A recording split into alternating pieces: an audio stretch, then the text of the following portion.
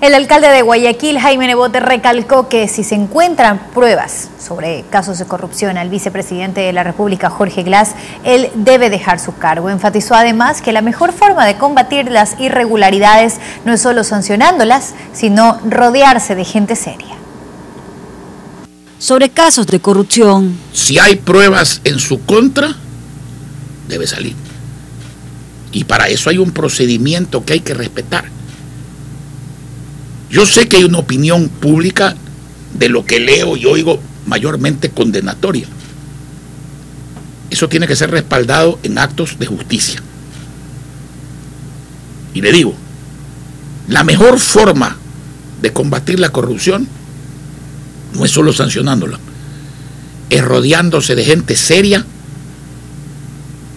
respetable y teniendo una justicia independiente reestructuración del Estado. Ese consejo se llamaba al menos Rafael Correa, porque ahí ganaba el que él quería que gane. Entonces, la justicia no debe estar en manos del Poder Ejecutivo. Yo no lo digo peyorativamente. Ahora, ¿cuál fue el remedio? Hay un solo dueño. Y ni siquiera es un partido, una persona. ¿O era? Entonces, esto ya no es ni como decía Rosemena Monroy, la misma jeringa con distintos bitoques. Bueno, esto es la distinta jeringa con distintos bitoques. Eliminación de la tabla del consumo de drogas. Y ahora, este jueves, se presentará el proyecto para derogar la tabla de consumo. Tenemos que ser claros. Sin mayoría en la Asamblea, que no la tenemos,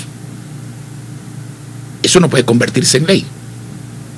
Yo creo que es positivo que el presidente de la República esté en esa posición porque se necesitan los votos del gobierno para que esa ley se haga realidad. Crisis en Venezuela. Es una desgracia lo que ocurre en Venezuela.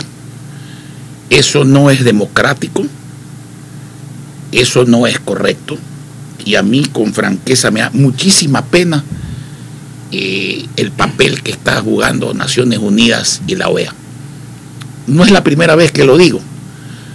Eh, cuando no pasa nada, esas organizaciones eh, tienen un papel, pero están hechas para resolver las cosas cuando pasa algo.